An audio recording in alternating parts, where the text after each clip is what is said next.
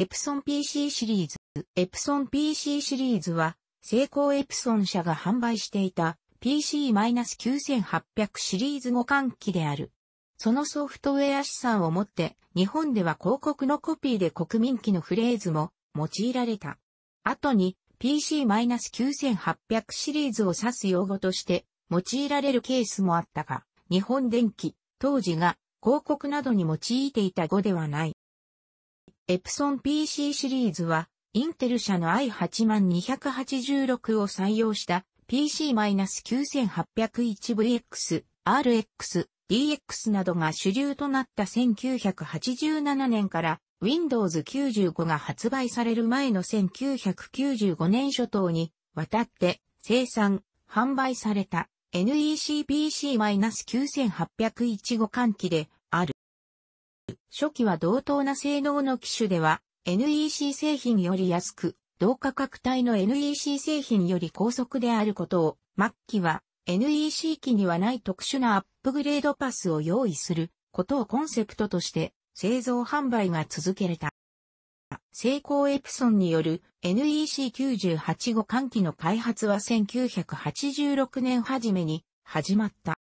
これまで成功エプソンは自社独自のパソコンでのビジネスにことごとく失敗に終わっており、やむなく1984年に IBM PC 互換機を開発。アメリカで発売し成功しているが、この時には企業や技術者の誇りにも関わる問題であると、成功エプソン内でも異論や混乱が見られていた。98後換機についてもこの時代からすでにその開発計画が模索されていたが、1985年秋、開発がスタートする。日本では当時、数社に NEC-PC-9801 互換機発売の噂があったが、同社は仮想競合メーカーに先駆けて一番目に発売することを目標とし、1987年、元日の日本経済新聞に1ページ全面、NEC 互換機発売を示するカラー企業広告を掲載した。1987年3月2日、同社がマスコミ各社に向けて新製品互換機発表会見を3月9日に行うと連絡したが、3月8日付の朝日新聞に同社が互換機の発表を中止するとのスクープ経済記事が採され、翌9日午前中に会見を13日に延期と同社より正式な通達がマスコミ各紙に伝達された。理由は、同社が事前に NEC に訪れた際に類似点があると指摘を受けたことで、理解を得た返答を待つ期間を取ったことによるもの。しかし、NEC は同社に対し13日までには返答せず、関係者には新製品の詳細記事が7ページにわたって掲載された日経パソコン3月16日付のすりが12日段階には配布されていた影響もあり、3月13日に同社は NEC からの理解を得られないまま発表会見が行われ、その中で新製品発売が4月上旬予定から急遽4月中に訂正しているなど混乱多面を見せており、さらに同日夕刻に NEC が会見を開き、互換機には類似点が多く、黒との内容を示したことで、互換性と著作権の問題が表面化した。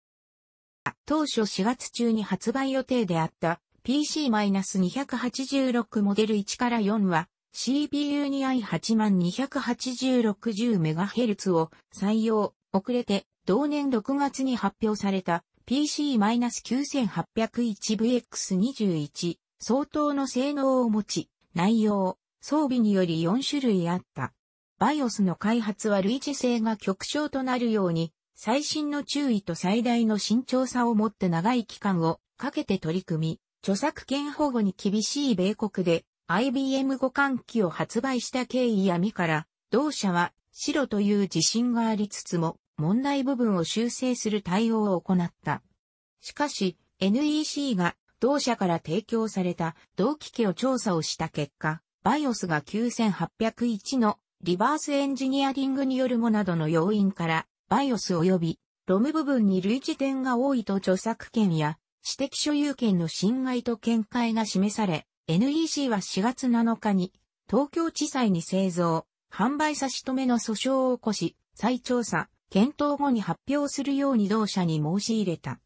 係争中となった PC-286 モデル1から4は、客側の不安感を見越して営業上の検知から発売を取りやめ、一度も市場に登場しないまま、お蔵入りとなった。また、日本では訴訟沙汰は市場に悪いイメージを抱かれかねず、また裁判で何年にもわたってビジネスが停滞してしまうのは損害である、などといった判断から、11月には NEC と和解、和解金を支払った。それと、並行して別グループにより、クリーンルーム設計で開発されていたバイオスと差し替えたり、ベーシックをロムで持たない仕様に変更などの対策を施した PC-286 モデル例が実際市場に登場した量販98号換機第1号製品として4月24日に発売された。発売初期、日本では期待や関心は高かったものの、ベーシックがなく、それを利用するゲームや教育用ソフトは未対応であった影響もあり、売れ行きは今一つ低調であった。9月10日、PC-286 用ロムベーシックを発売。これにより、ベーシックを利用するゲームや教育用ソフトも対応となり NEC PC-9801 互換機性能も向上。翌9月11日に初代機よりコンパクトになった標準機 PC-286V と3.5インチ FDD と FM 音源採用で PC-9801UV 相当の廉価機 PC-286U を発表。また、ベーシックロムを最初から搭載したプロスペック PC-286 発売。この頃に同社は大量に抱えていた初代機の在庫処分を行い、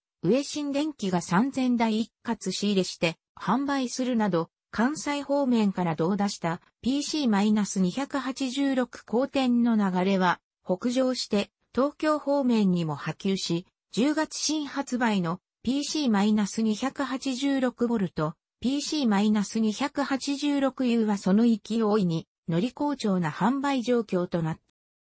た。1987年11月、ラップトップ機の PC-286L シリーズを発表、発売。NEC のラップトップ機である PC-98LT が PC-9800 シリーズでありながらテキストベレムを持たず互換性に乏しかったのに対ほぼ PC-9801VM に相当の互換性を持たせた。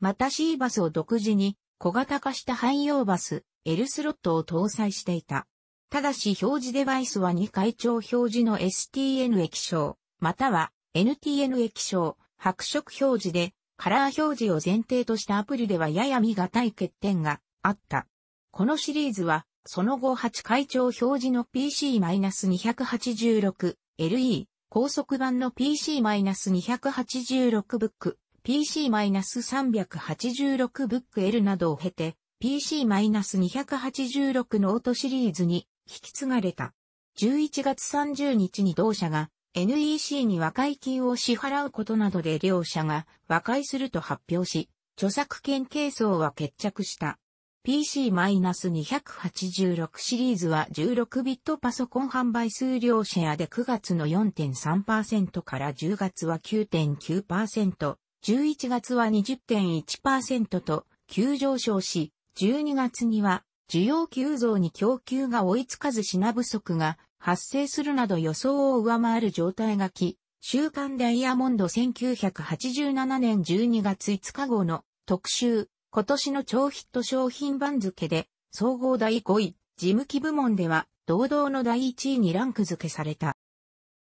1988年には PC-9801RX 相当の 12MHz の286を搭載しより安価な PC-286 ベイ、同様に PC-9801、RA 相当の 20MHz の i386、DX を搭載した PC-386、NEC 機には存在しない 16MHz 駆動の AM8286 を搭載した PC-286X が発売され、にわかに注目を浴びることとなった。この高速286路線は、1990年発売の 20MHz 駆動の PC-286VX や、その広し型である 16MHz の PC-286VG と続くこととなる。また、本体キーボード一体型の PC クラブ、PC-286C、プリンタ一体型のラップトップ機 PC1、PC-286LP などの機種も発売された。また、8MHz ベースクロックの CPU を搭載するに、あたっては、互換性を考慮して、RS-232CE 経由での通信用に別途 5MHz のベースクロックを供給した。NEC は当時このような対応を行わなかった影響で 14400bps モデムの登場機に NEC よりエプソンの方が互換性が高いと後に皮肉られることになる。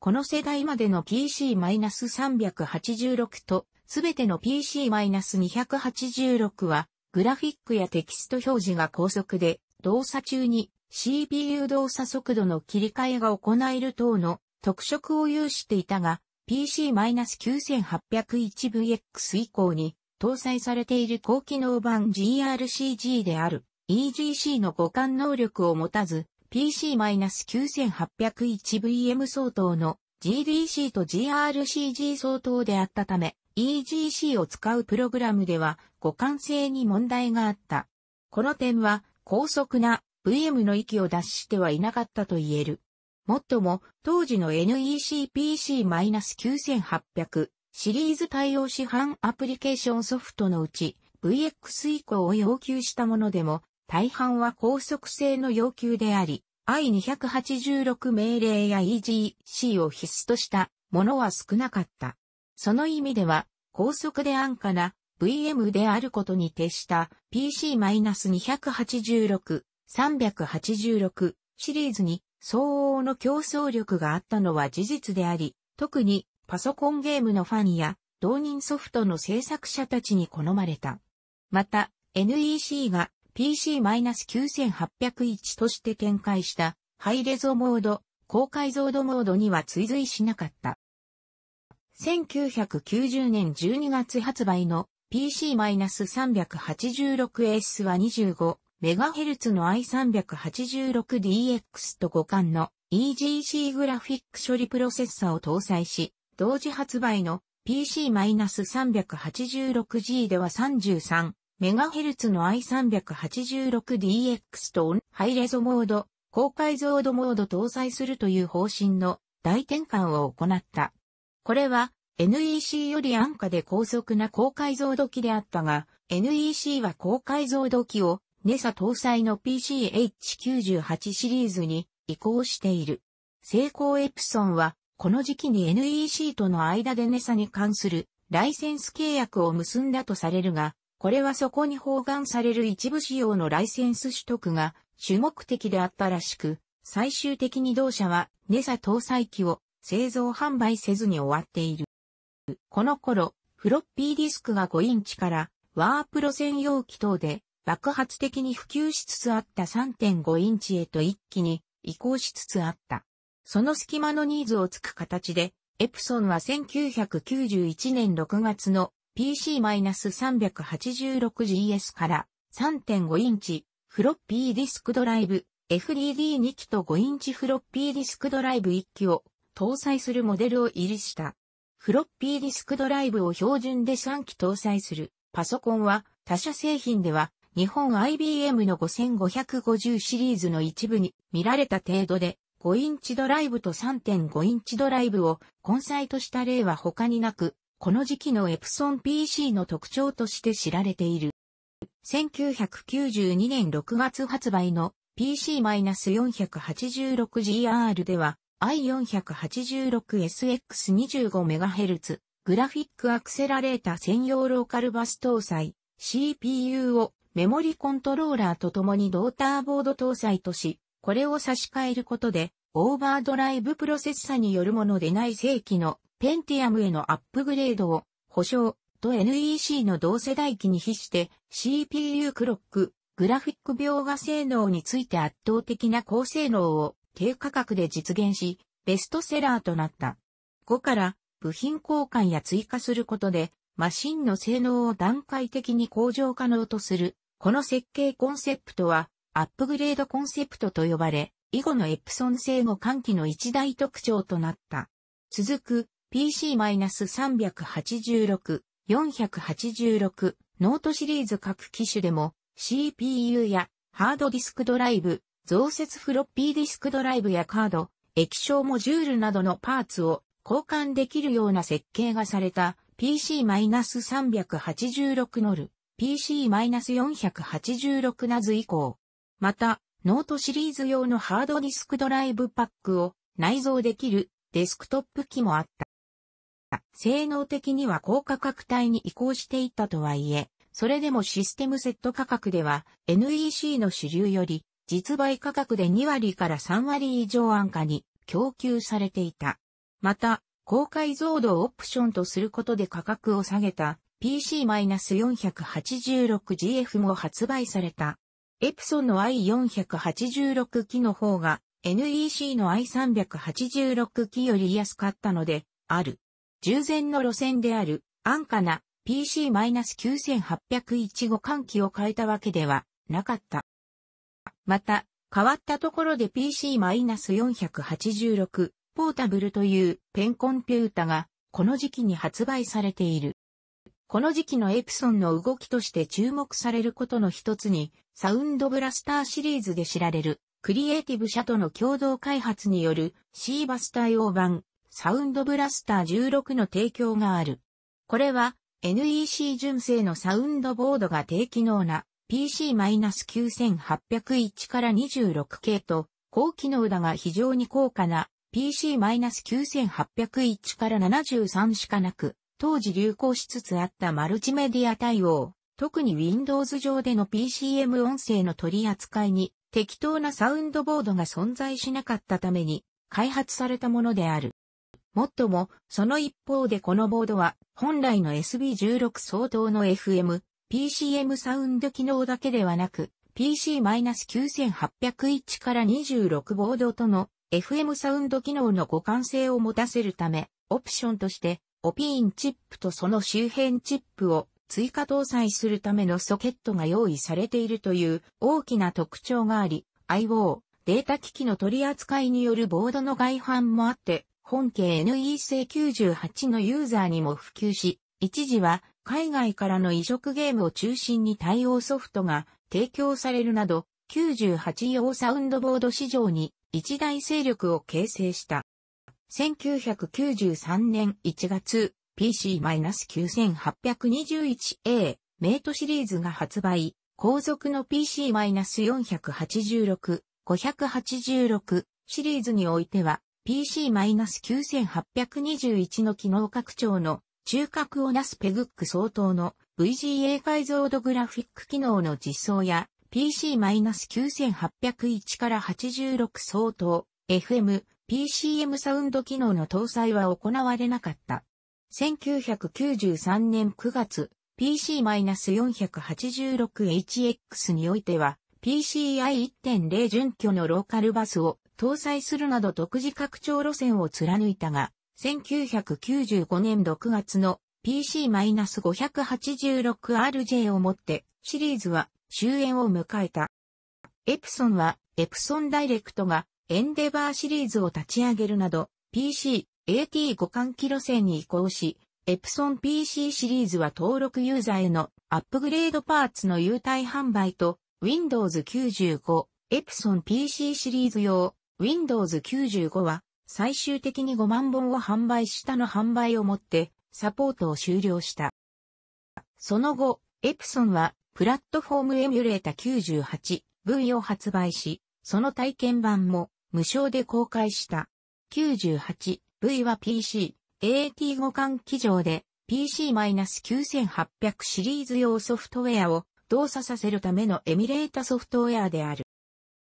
98 V は純粋なソフトウェアエミュレータ版と EGC 互換チップ等を実装した ISA カードと専用ソフトウェアがセットとなったハードウェアエミュレータ版の2種が提供された。